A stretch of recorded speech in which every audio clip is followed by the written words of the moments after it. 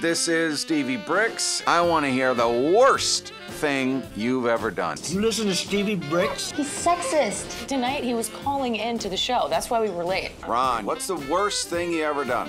I cut a guy's fingers off. I thought it was fake at first, but it's real, man. What are you talking about? Give me a break. The finger, man. Which one? The one you stuck in my wife? Oh. Jesus Christ. You're a hypocrite. You don't throw someone out of the apartment over a kiss. You touched her Tinkerbell. He followed me to the laundromat, and he put his severed foot in the dryer when I was out getting cupcakes. I'm not sending you body parts. Oh my god, I'm gonna be sick. Just stop it. go. Sit down on, right now. Sit go? down. Whose foot is it, Ron? Huh? Whose foot? Daniel Day Lewis's. Male, white guy, that's all we know. That could be anybody.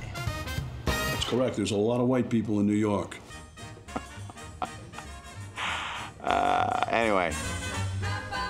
It's disturbing, I know. It is disturbing. Yeah. It's serial killer shit is what it is.